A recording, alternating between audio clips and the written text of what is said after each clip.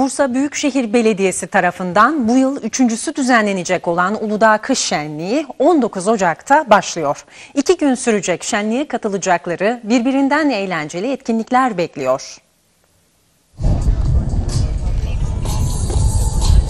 Bursa Büyükşehir Belediyesi, Türkiye'nin en önemli kayak merkezlerinden Uludağ'da kış şenliği düzenliyor.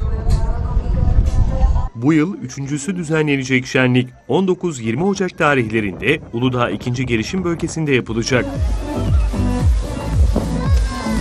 Şenliğe katılanlar plastik kızak etkinliklerinden iglo yapımına, karton kızak yarışmasından müzik etkinliklerine kadar dolu dolu iki gün geçirme şansı bulacak. Gelen misafirlerimiz gönüllerince vakit geçirecekler. Başkan Ali Nur Aktaş, Bursa'nın tüm güzelliklerinin şehirde yaşayan herkes tarafından hissedilmesi için ellerinden geleni yapmaya çalıştıklarını söyledi. Bugüne kadar Uludağ'a gelemeyen birçok vatandaşımızı bu sayede Uludağ'ı yakından tanımış oluyor.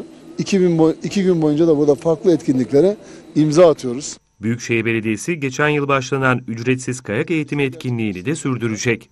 17 ilçedeki okullardan belirlediğimiz öğrencilerimize kayak sporuyla tanıştıracağız. Derslerinde başarılı olan öğrencilerimizi yanlarındaki öğretmenleriyle birlikte ağırlıyoruz.